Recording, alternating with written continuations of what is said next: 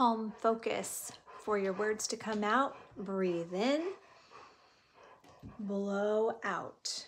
Again, breathe in, blow out.